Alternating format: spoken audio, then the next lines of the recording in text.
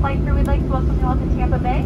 Please remain in your seats with your seatbelt securely fastened until we come to a complete stop at the gate and the captains turn off the fasten seatbelt sign. That's when you'll know it's safe to get up and retrieve your items out of the overhead bins. Please be careful opening the bins as items tend to shift during flight. We'd like to remind you to please keep your mask on over your nose and your mouth as you exit the aircraft and head out through the terminal.